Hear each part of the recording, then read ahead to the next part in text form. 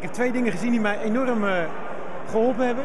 Met name de laatste eh, toespraak, zou ik maar zeggen, van die eh, eh, mediaman, weet je, die, die programma's maakt als de X-Factor. Heeft hij onder andere bedacht. Heel commerciële programma's.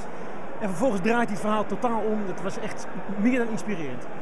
Dat was, dat was het inspirerende voor jou, zeg maar, hoe hij zijn verhaal Ja, ik, ik, vind, want ik, ik haat dat, dat soort ideeën dat je dus voor een bepaalde groep, voor een bepaalde eh, leeftijd een programma gaat maken, helemaal tailor-made, dat je weet zou moeten kijken, super commercieel. Als we dat shot zo laten staan en, en dan laten we eh, ding- dingetjes naar beneden komen en dan komen er allemaal mensen in wit gekleed om die emotie maar op te kloppen, op te kloppen, gemaakt voor de grote massa. En vervolgens vertelt hij een verhaal over zijn autistische kind.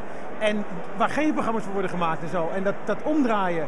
En dat hij laat zien dat die, dat die man totaal anders in elkaar zit. Maar dat de wereld ook anders kan zijn. Dat is zo mooi. Want ik vond hem gewoon, nou walgelijk is het woord niet. Maar ik vond hem gewoon, ik denk, wat doe je nou man?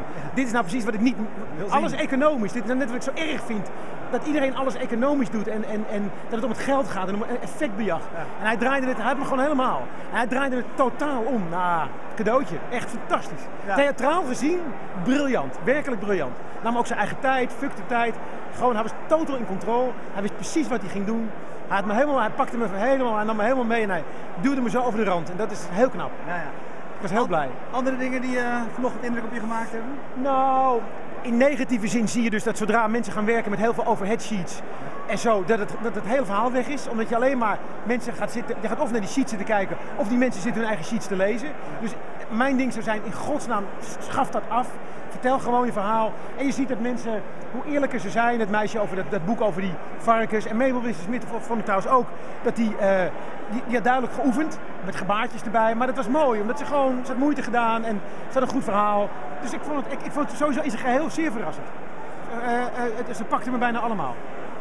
Wat kun jij hiervan leren met, voor eh, stand-up inspiration? Nou, eh, eh, eh, veel, veel, eh, ja. Ja, het is een heel, eh, nou ja, vooral hoe ze ideeën, ik, wat ik, vooral die laatste man, ja, dat jij een idee vertelt.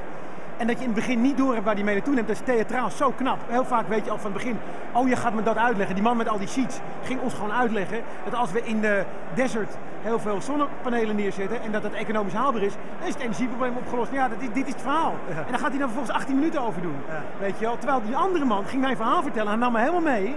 Maar hij ging de andere kant op. Nou, dat deed me zoveel. Dan denk ik, ja, dit is hoe je een verhaal moet vertellen. Hij is een eh, Brit, hè? Die, eh, die man die Ja. dat eh, verhaal vertelde. Ik heb het gevoel dat in Engeland, zeg maar ook op onderwijs, et cetera, Ja. dat het verhalen vertellen, het duidelijk. presenteren, een belangrijk onderdeel van de cultuur is. Hoe kunnen we ervoor zorgen dat wij dat ook Ja, hier dat is leren? heel mooi.